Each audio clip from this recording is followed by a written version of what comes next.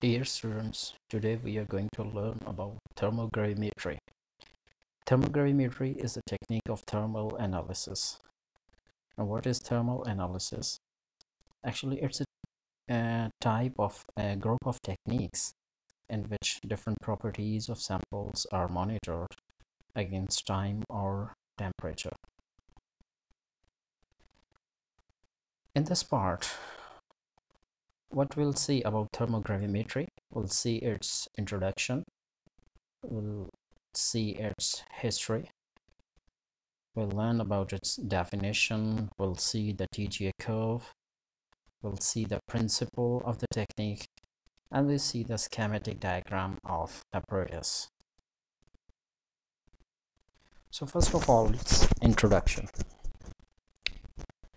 so measurement of mass is an experiment being performed since long.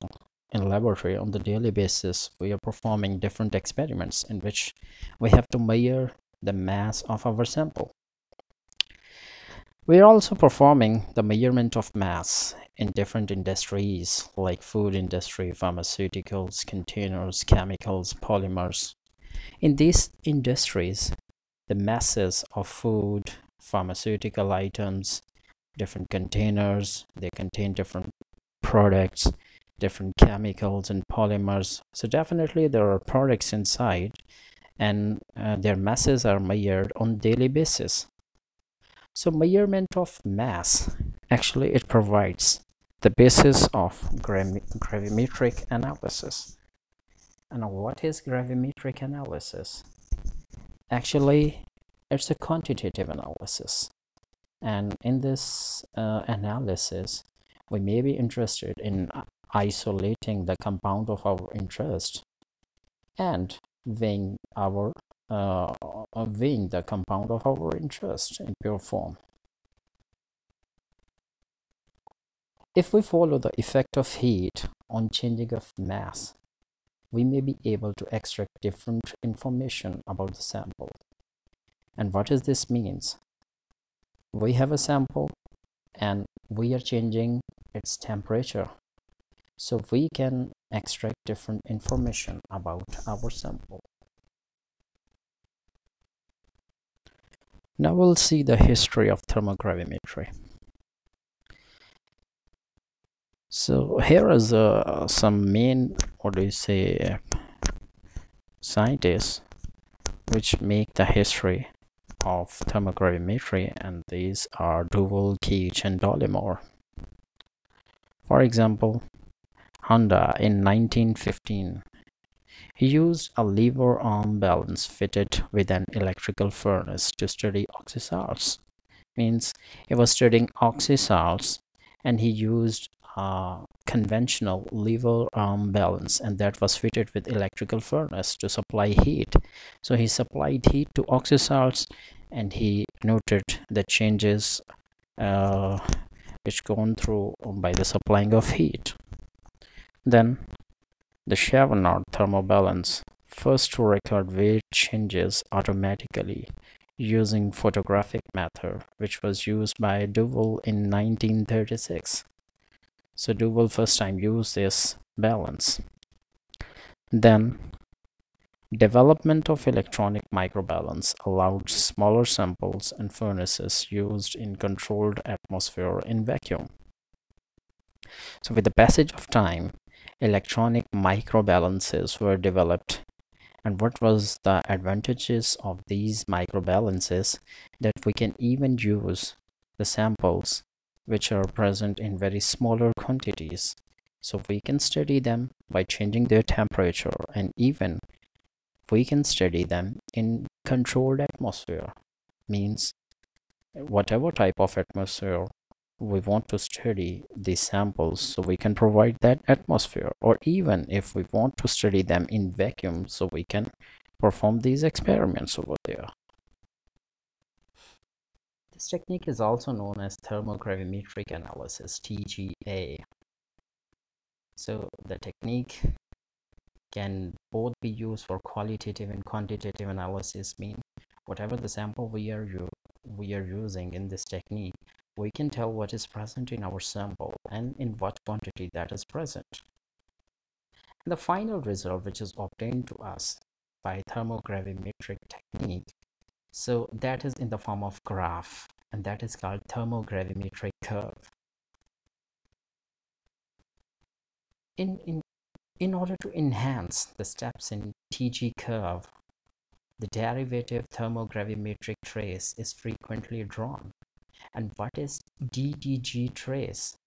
Actually it's a plot of rate of mass change with time and we can call it dm by dt so in the next slide we actually i'm going to show you the T tg curve.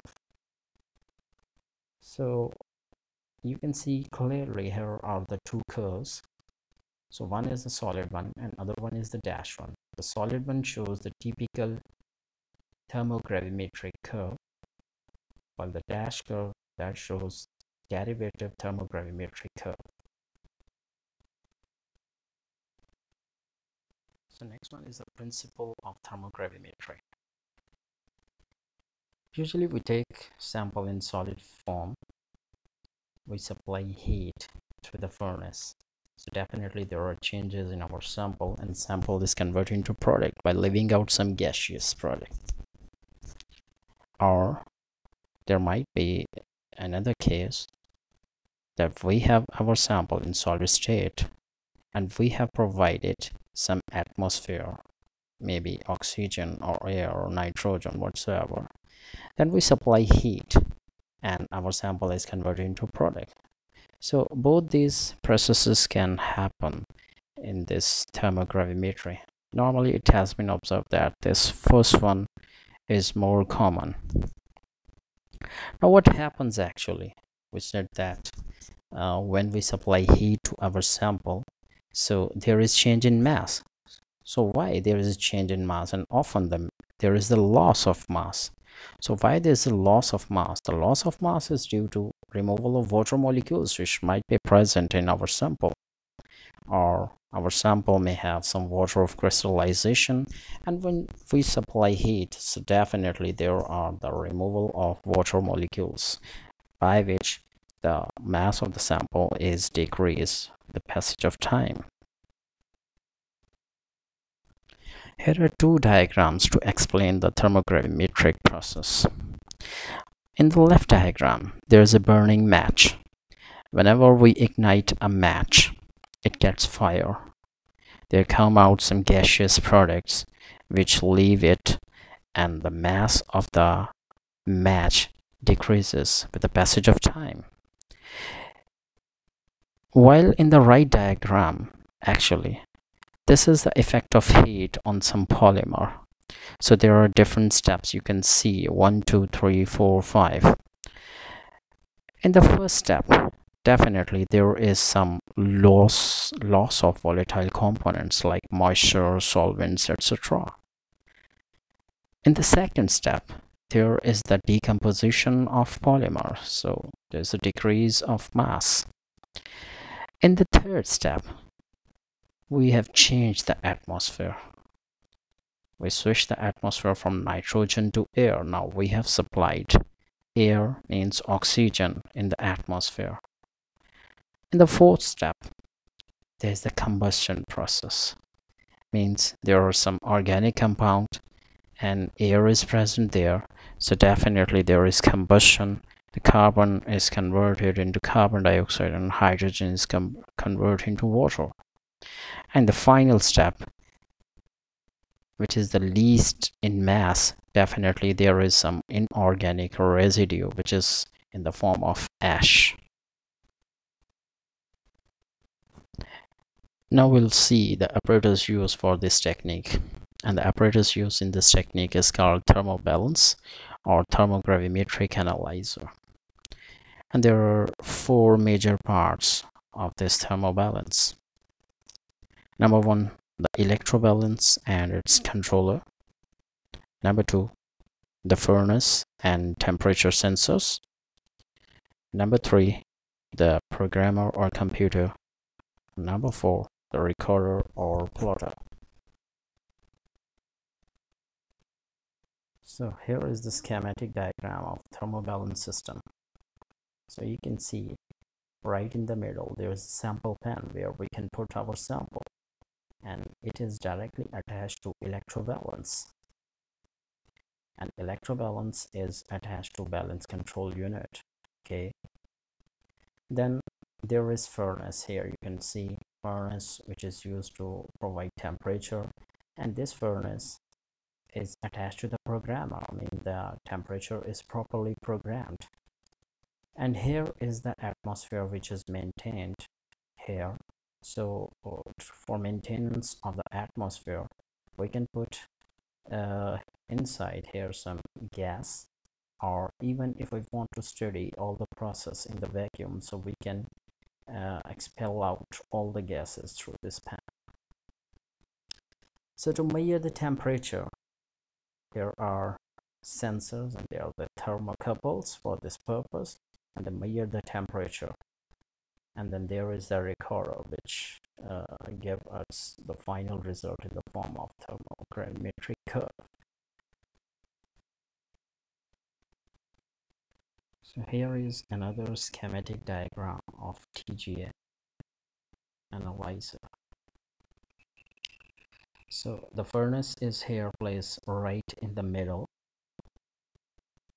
The balance cell is placed here on the right side. The support for sample cell is present here right in the middle. And this is the horizontal design of TGA analyzer. And this horizontal design actually it helps to minimize the possible turbulence which may be due to the purge gas flow.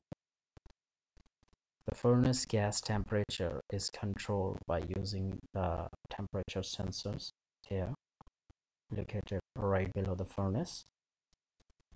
Furnace is shielded on the both sides, this one and this one. And the shield is done by using baffles. The volatile and gaseous combustion product leave the furnace through this left hole. This is the gas outlet.